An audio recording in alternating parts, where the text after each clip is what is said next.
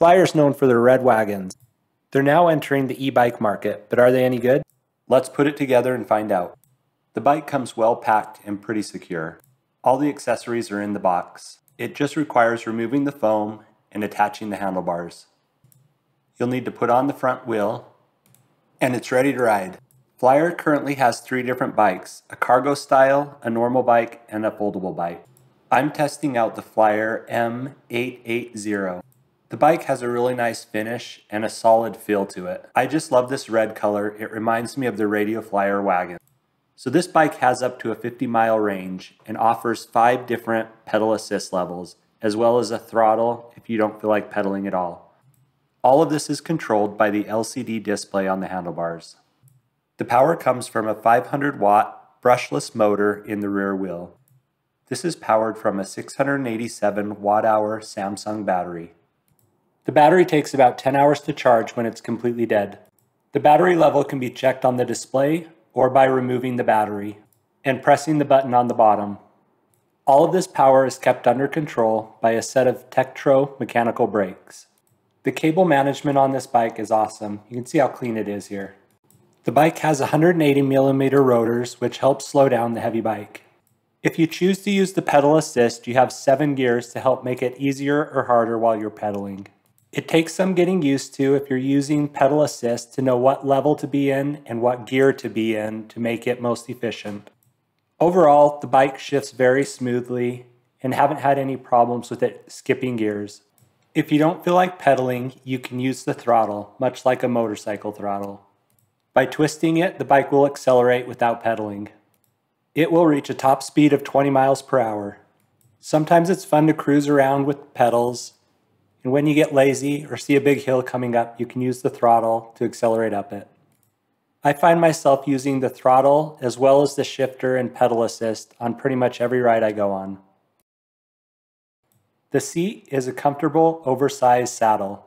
It's supportive enough for pedaling, but comfortable enough for cruising. The seat can be easily raised or lowered with the quick release around the seat tube. They come with a quality set of pedals with built-in reflectors. One of my favorite parts of the bike is this tripod style kickstand. Because it lifts the front tire off the ground, there's a spring here to keep the tire from turning to the side. There's also super high quality front and rear fenders. I've enjoyed the fenders when riding in the rain, but when using some bike racks that hold the tires in place, they do get in the way. The bike includes a headlight and a tail light. These can be controlled by the LCD panel turned on or off. The light's just bright enough to see at night and to make sure cars see you. On the rear of the bike, there is a brake light that illuminates when the brake lever is pulled if the front light is not turned on. You can adjust the height of the headset by using an Allen wrench or adjusting the stacks underneath. This makes it easier for smaller riders to reach or can give you a more upright position when riding the bike. The grips are actually really nice. They're firm and sticky and slightly ergonomic. There's a number of different accessories for the bikes, but these are must-haves. The front and rear storage baskets make carrying around bike locks, pumps, groceries, and other items super easy. There's also other accessories for carrying phones, water bottles, and even kids with you. I've had a ton of fun riding this bike.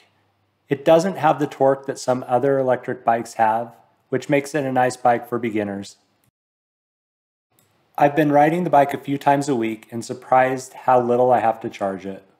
The nice thing is, if you do run out of battery, you can always pedal yourself home. You wouldn't be stranded. While there isn't any suspension on this bike, the big seat and cushy 3-inch tires make it a softer ride and more comfortable. The bike is offered in three different sizes. The small is designed for riders up to 5 foot 8, the medium is designed for riders up to 6 foot 3, and the large is designed for riders up to 6 foot 6. The bike also comes in different colors, red, white, blue, and black.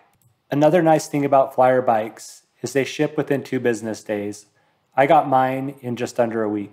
Unfortunately, this bike doesn't have a mobile app to make fine-tune adjustments to the power output or check speed, mileage. We have a super in-depth review of this bike over on our website. I'll leave a link to that in the description below. If you found this video helpful, please give it a thumbs up. If you like reviews on outdoor gear, be sure to subscribe to the channel. If you're shopping for outdoor gear, check out our website, gearchase.com. Thanks for watching. If you have any questions or comments, leave them below. I'll be sure to get back to them. Until next time, happy riding.